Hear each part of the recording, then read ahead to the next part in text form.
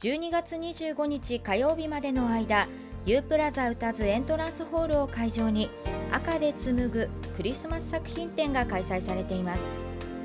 この作品展は亀井恵子さんと時子さんが指導している絵画教室の生徒らが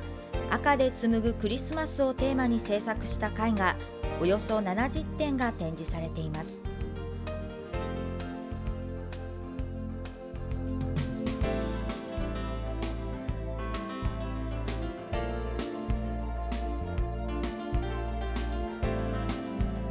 今年はあのこの空間を赤で埋め尽くそうと思いまして、えっ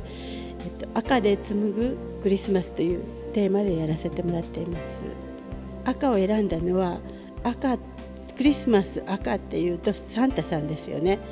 それでサンタさんの赤い服は幸せを予感させますね。プレゼントが届く。なんかワクワク感。その赤の連想でクリスマスを表現してみました。みんなが幸せな気持ちになってここで過ごしてもらいたいなと思うようにこの空間を作りました。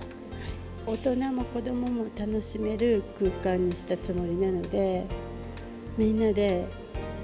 クリスマスを楽しみに待つ気分をここで味わって帰ってもらいたいまた会場には巨大なリースも展示されていて綺麗な赤色がひときわ目立ちます。この展示会は今年で18回目を迎えました。生徒が描いた作品を通じて U プラザ歌津を訪れる方に幸せを呼び寄せる赤色でできた空間を楽しんでもらいたいと開催しています。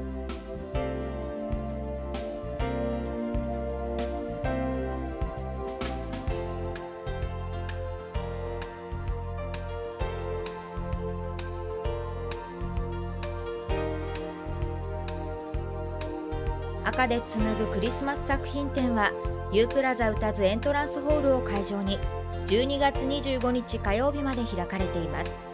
ぜひ足を運び素敵なクリスマスの空間をお楽しみください。